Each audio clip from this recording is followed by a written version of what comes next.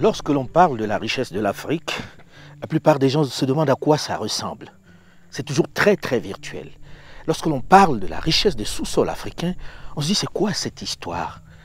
Eh bien il suffit de voyager sur le continent pour le voir. Il suffit d'arriver dans certains endroits pour comprendre à quel point nous avons été dotés de richesses, de richesses que nous n'exploitons pas.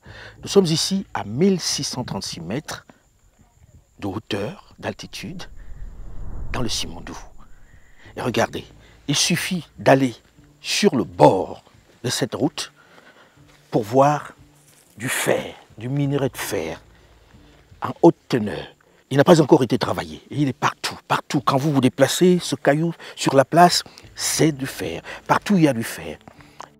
Comment peut-on posséder 78% de diamants de la planète, 89% de platine, la moitié de la production est utilisée par l'industrie automobile, 81% de chrome, 61% de manganèse, 60% de cobalt, 20% de la production mondiale d'uranium, 90% des réserves de platinoïdes, 80% de coltan, 70% de tantal, 40% des réserves orifères et 10% des réserves pétrolifères. Bref, comment peut-on détenir le tiers des réserves mondiales, tout minerai confondu, et rester le continent le plus pauvre du monde?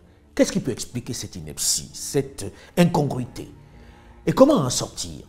Pourquoi le pétrole serait une bénédiction pour les pays du Golfe, tels que l'Arabie Saoudite, le Koweït et autres Qatar, il serait une malédiction pour le Congo-Brazzaville, pour l'Angola, pour le Tchad, pour la Guinée équatoriale, pour le Nigeria? Soyons sérieux. Prenons la République démocratique du Congo, l'un des plus grands paradoxes de notre continent. Premier producteur mondial de cobalt, avec ses 100 000 tonnes chaque année. Il fournit 70% de ce minerai essentiel dans la fabrication de batteries pour voitures électriques et pour nos milliards de téléphones portables. Premier producteur africain de cuivre, avec plus d'un million cinq cent mille tonnes par an. Le Congo est assurément un scandale géologique, puisque la liste de ces minerais est longue et importante. Diamant, près de 19 millions de carats par an. Or, plus de 40 000 kg par an. Zinc, 7 800 tonnes. J'arrête là l'inventaire parce que, comme le disait l'auteur France Fanon, l'Afrique a la forme d'un revolver dont la gâchette est le Congo. Les superlatifs, pour le dire, sont foison. Scandale géologique, pays béni des dieux. Mais dans le même temps, l'immense majorité de la population dans ce territoire grand comme l'Union européenne, avec cette immense richesse, vit avec moins d'un dollar par jour.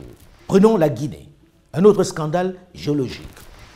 Elle est dotée de certaines des réserves de minéraux les plus convoités de la planète, dont 40 milliards de tonnes de bauxite, la plus grande réserve du monde. À cela s'ajoute, tenez-vous bien, plus de 20 milliards de tonnes de minerais de fer.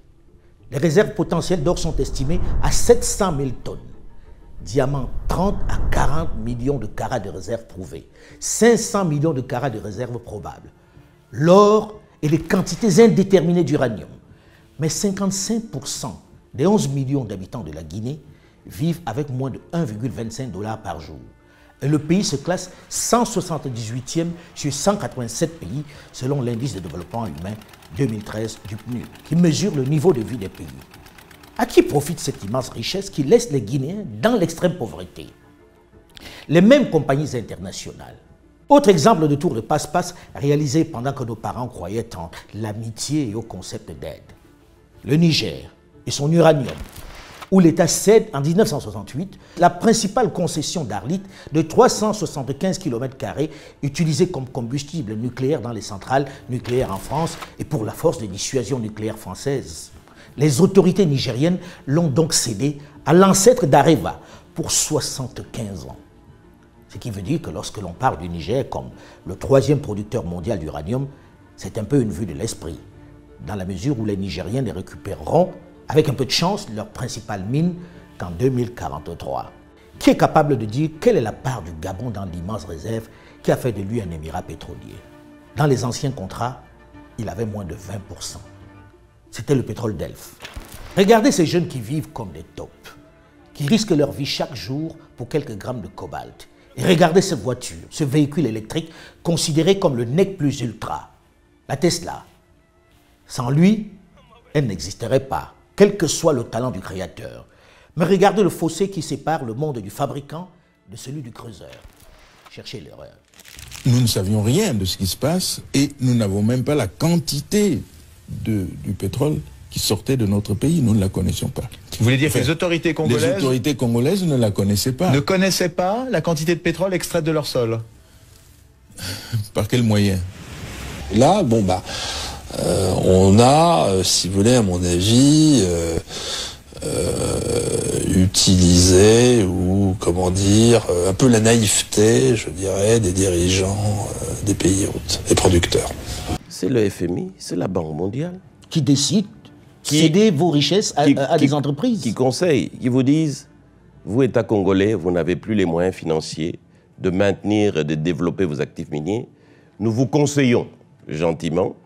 Oui, de, on sait comment on conseille. Voilà, euh, de céder ça à des partenaires techniques et financiers internationaux qui sont spécialisés et qui ont les moyens et ils vont développer ça à votre place. C'est l'erreur fatale qu'on a faite qu'on ne devrait jamais faire dans nos pays africains. On dit que la RDC a exporté plus de 1 million de tonnes de cuivre et près de 100 000 tonnes de cobalt.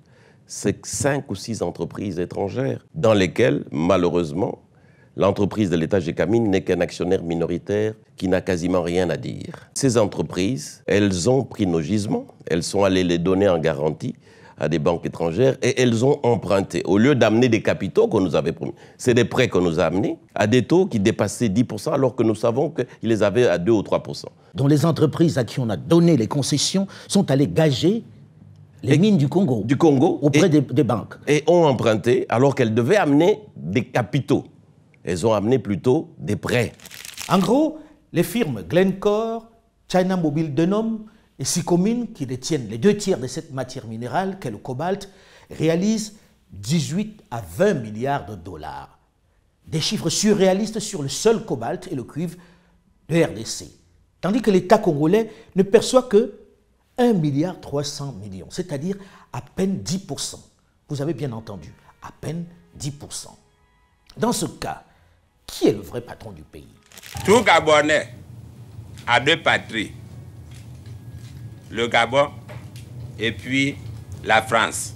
Pensez-vous très sérieusement que cet homme puisse lire dans le contrat pétrolier élaboré par Paris?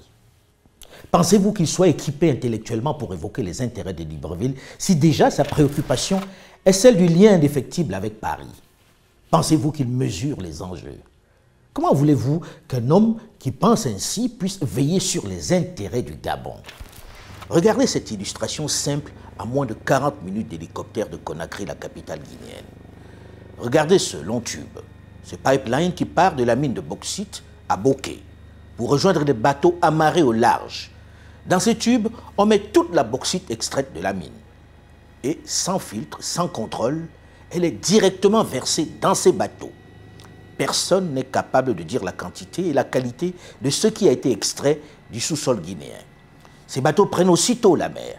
Et c'est une fois à destination, plusieurs semaines après, en Chine, que l'on déclare à l'État guinéen les quantités et la qualité de ce qui a été extrait. L'entreprise chinoise peut donner les chiffres qu'elle veut. On est obligé de la croire.